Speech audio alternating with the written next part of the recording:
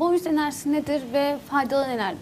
Evet, Bovis enerjisi Doktor Anton Bovis şarap ve peynir üreten bir Fransız doktor.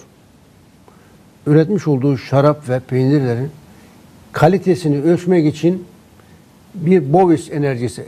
Dünyada, kainatta olan her şey enerji üretir.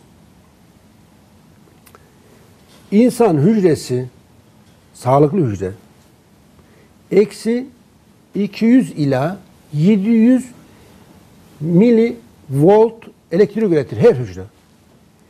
Eksi 200 ila 700 milivolt her hücre. Ve bu hücrelerin üretmiş olduğu bu elektrik büyük bir kısmı beyin ve göz tarafından kullanılır. İnsan bünyesinin harcamış olduğu enerjinin yüzde sekseni göz, şey beyin, beynin de kullanmış olduğu enerjinin yüzde ellisini göz kullanır. Yani bu enerji nereden geliyor? Gözün bu kadar enerji harcıyor.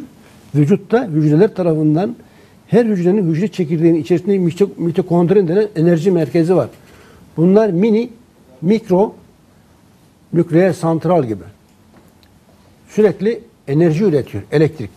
Bu vücutta üreten elektrik beyin ve daha çok göz tarafından kullanılıyor. Yüzde sekseni, yüzde seksenin yarısı göz, yarısı beyin tarafından kullanılıyor. Yani şimdi sağlıklı hücreler eksi 200 ila 700 milivolt, hastalıklı hücreler ise artı 200 ila 700 milivolt. Artı olursa yani hastalıklı olursa hücre artı enerji üretir. E, sağlıklı olursa eksi üretir. Sağlıklı ile hastalıklıyı nasıl ölçebiliriz?